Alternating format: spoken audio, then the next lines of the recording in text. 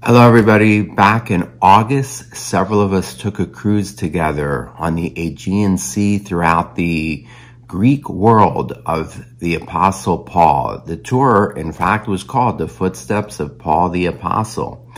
And on that cruise, I gave a series of teachings, one of which I was uh, requested by several of you to make a video repeating or revisiting the teaching is uh, the conditions on the boat that day were windy or some of you didn't take notes and therefore I'm keeping my promise to revisit the topic. And the topic is or the very title of the video is the Jews of the Gospels versus the Jews of Paul's letters.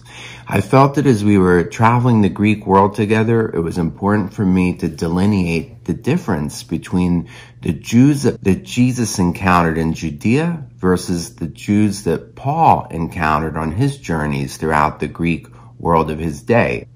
Now, when you read the Gospels, we hear repeatedly, almost to the point of it becoming rhythmically, the Jews referred to by the groups the Pharisees, the Sadducees, the scribes, and the teachers of the law. And these groups are mentioned often. They're central to the gospel narrative for they comprise the chief opposition to Jesus, particularly the Pharisees and the Sadducees. And it's repeated over and over again. The Pharisees, the Sadducees, the teachers of the law. The Pharisees, the Sadducees, the teachers of the law, as I said, almost rhythmically. The problem is, is when we move to the letters of Paul, we're never really told outright who are those Jews. Now, I'm telling you that those Jews were very different from the Jews of Judea. You may recall in The Wizard of Oz, when Dorothy lands in Oz, she looks down at Toto and she says, Toto, we're no longer in Kansas.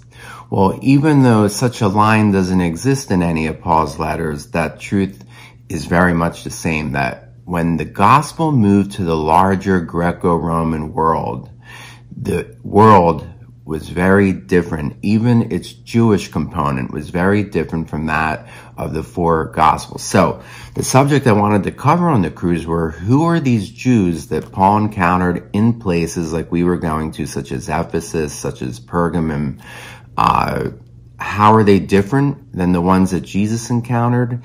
To begin that story, we have to begin actually with two Gentiles from the fourth century BC, they being Socrates and Plato. The former Socrates being the master or teacher of the latter Plato. Now, Socrates never left for us any writings. He didn't believe actually in writing. I'm not saying that he wasn't literate or capable of writing, but he was of the belief that writing at the time was of little value, that it was more important to repeatedly speak the truth that one wanted to convey rather than write it down for the belief was that if you write it down, it won't be remembered. It was a oral culture and uh, and therefore the emphasis was on uh, speaking as opposed to writing. But Socrates' student Plato would write his teacher's uh, doctrines or philosophy in his own books, which were cast as dialogues, the most famous of which was known as Plato's Republic, written sometime around 375 BC. And this is Plato's most famous work, and it had and still has an incredible influence on Western thinking, perhaps one of the most important books ever written in the Western tradition.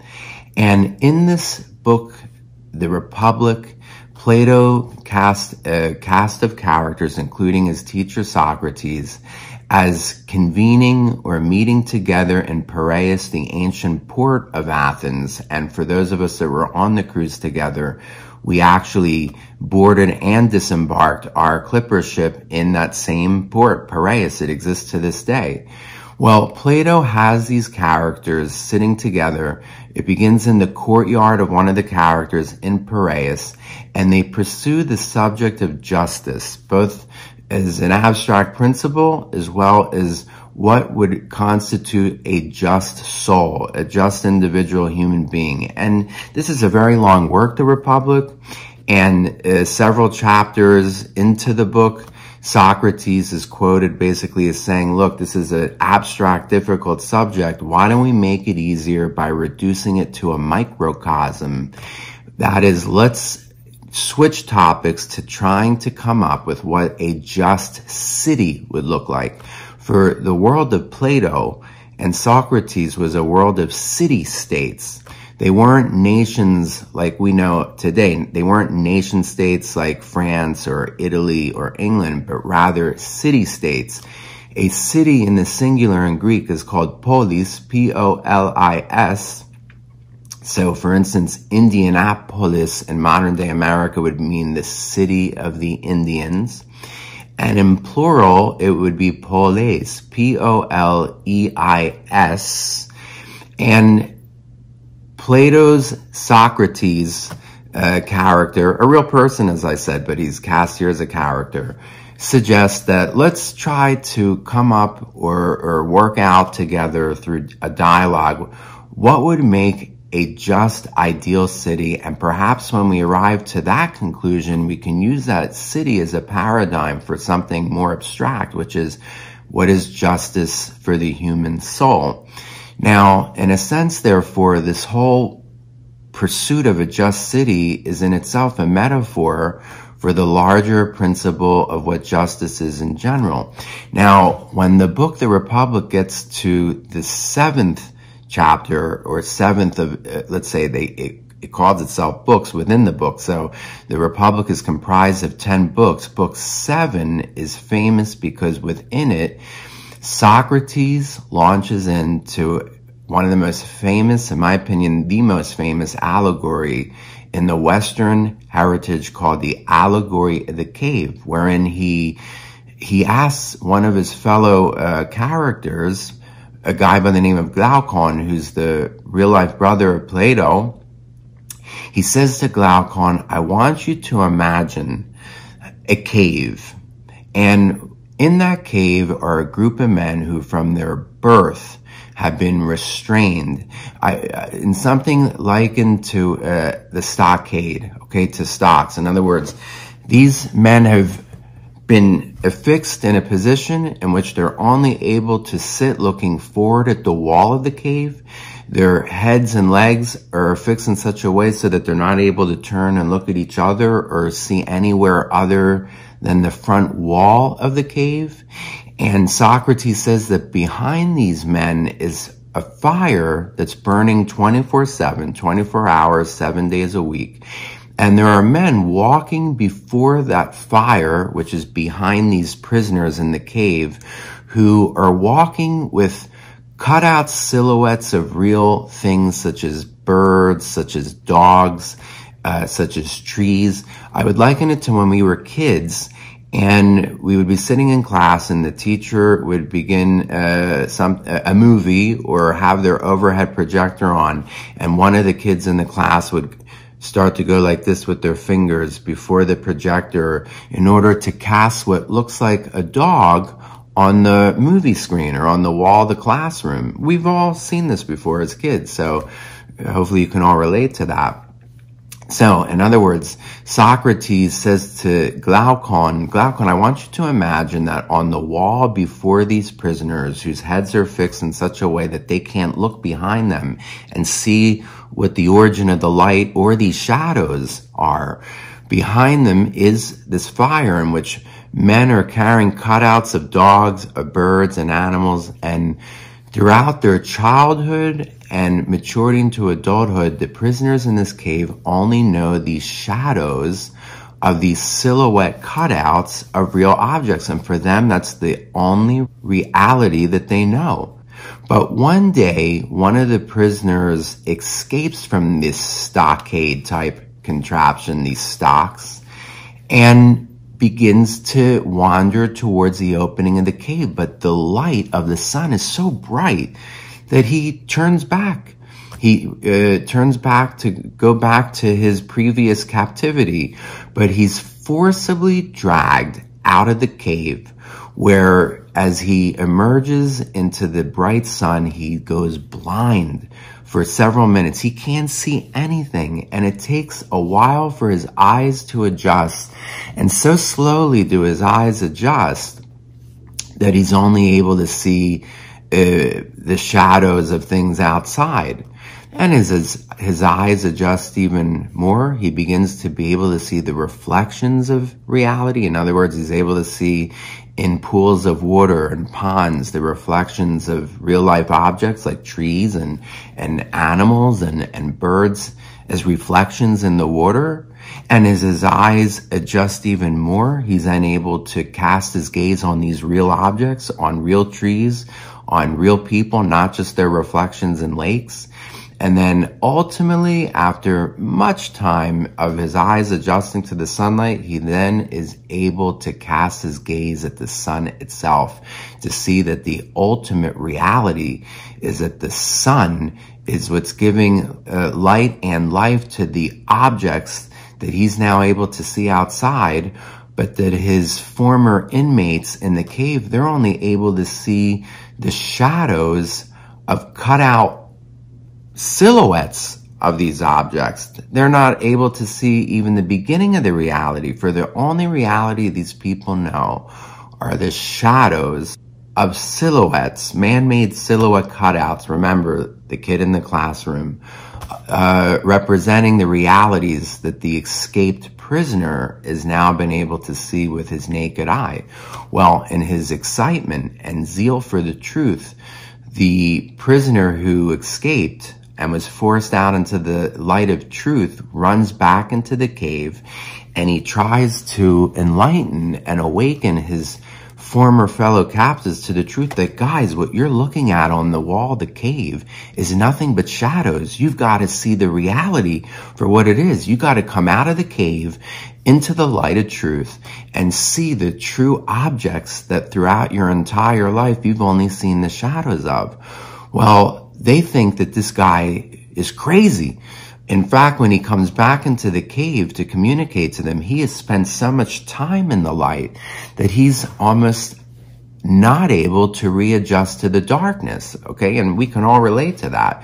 When somebody comes in from the bright sun into a darkened room, they can barely see anything. Yet somebody who's been sitting in the dark for hours uh, is able to see at least some basic objects in the dark. Just like he became adjusted to the light, they are adjusted to the dark. That's what they're used to. So in his zeal, he's trying to get them to come out and join the light of reality that he's partaken in for the last several hours. But in their being used to the dark, they refuse to do so. And in fact, they're so militantly opposed to his invitation to come to the light to his zeal that they try to kill this messenger of truth who Socrates likens to a philosopher.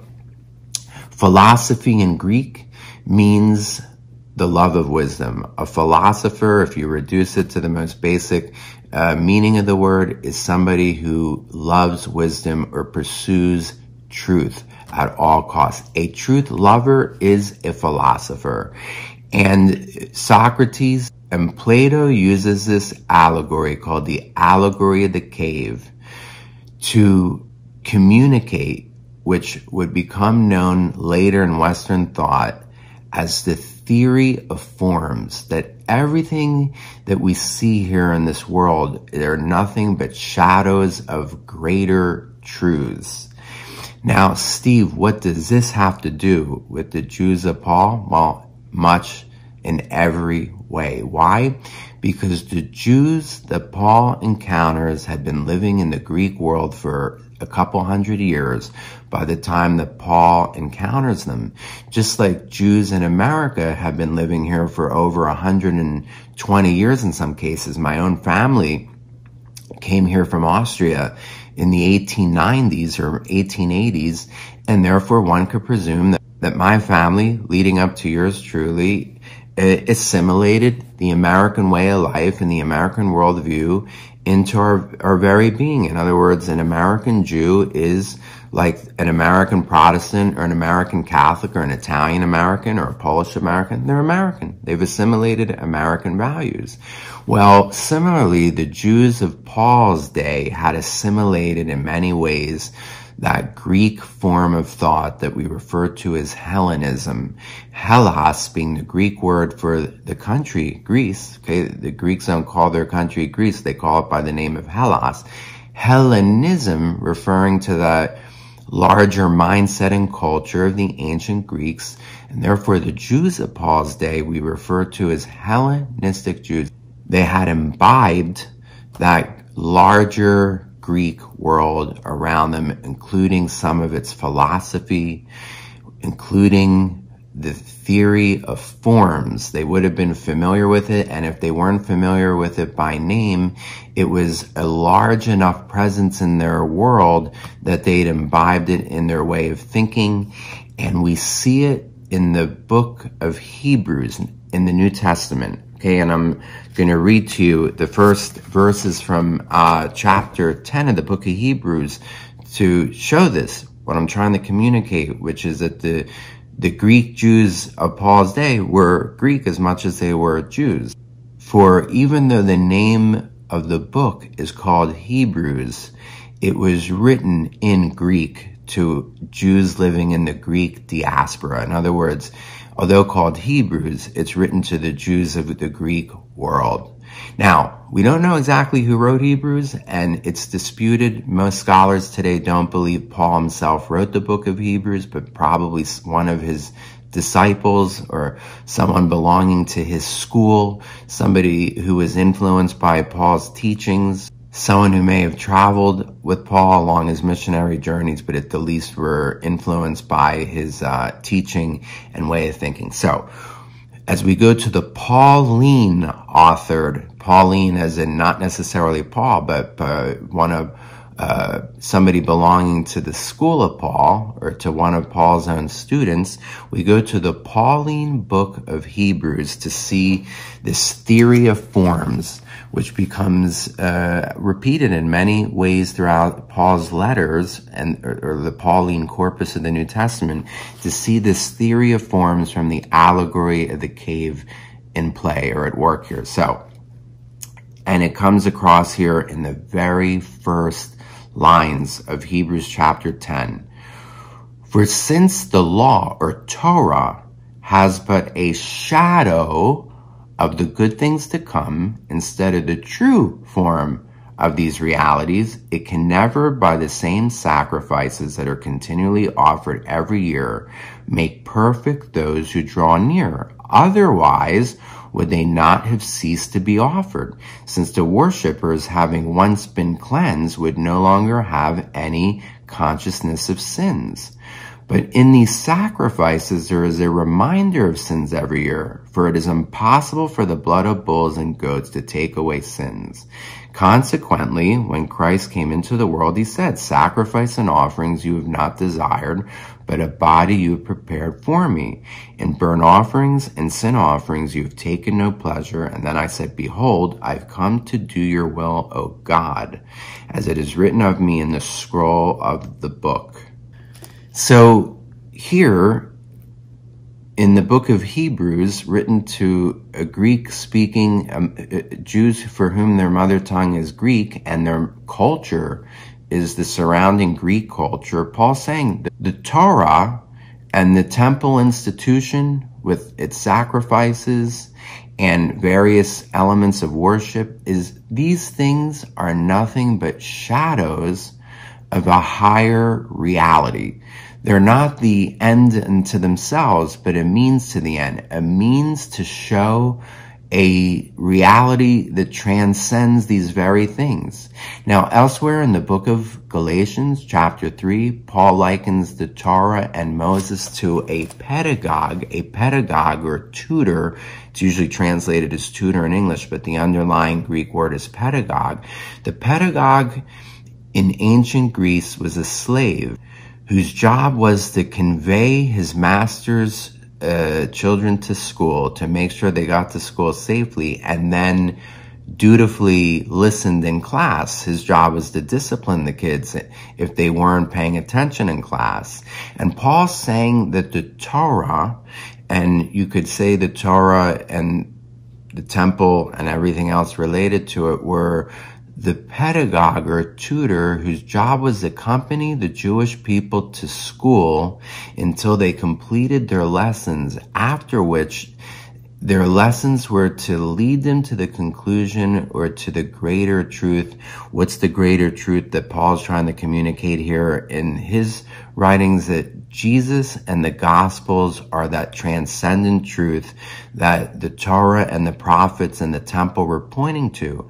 And now that Jesus and the Gospels have come, there's no need anymore for this pedagogue or tutor and therefore you see what started with Plato in the 4th century BC as the theory of forms, makes it into the New Testament books of Hebrews and Galatians because the Jews of Paul's day are not the Jews of Judea. They are the Jews of the Greco-Roman world who have been touched and influenced by Greek thinking.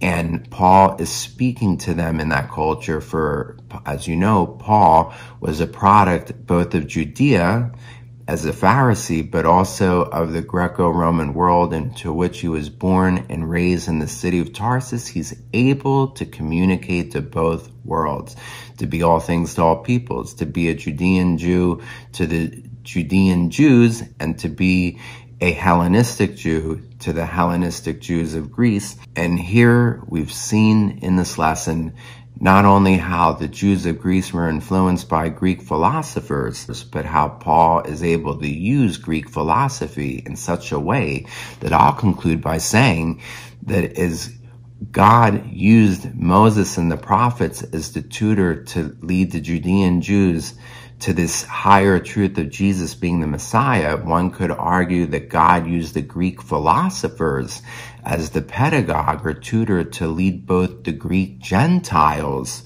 who would read Paul's letters and the Greek Jews to whom the letter of Hebrews was written to as pedagogues in a manner after Moses. In other words, Moses is a pedagogue to the Jews, but Plato and Socrates, God used to prepare the Greek Gentiles and Greek Jews to reveal this higher truth that Jesus and the gospel are that transcendent truth that all the things that came before it, including things in our everyday uh, world, okay, are simply the shadows of, but not the ultimate truth themselves.